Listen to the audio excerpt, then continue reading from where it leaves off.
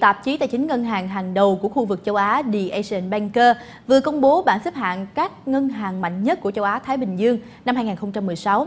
Và trong danh sách top 500 ngân hàng mạnh nhất Strongest Bank có 17 ngân hàng thương mại của Việt Nam. Bảng xếp hạng trên được The Asian Banker phân loại dựa trên 12 tiêu chí về chất lượng tài sản, sự tăng trưởng tiền gửi, dư nợ cho vay, khả năng mở rộng về quy mô hoạt động, các yếu tố rủi ro, lợi nhuận vân vân. Danh sách đánh giá toàn diện ngành ngân hàng của TAB bao gồm tất cả các hình thức sở hữu, ngân hàng nước ngoài, ngân hàng có vốn nhà nước, ngân hàng cổ phần.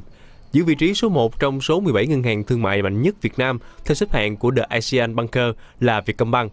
Đây là một đánh giá đã được dự báo trước bởi từ lâu, Vietcombank vẫn ở vị thế hàng đầu về tiềm lực tài chính và đứng đầu về mức độ lành mạnh tài chính.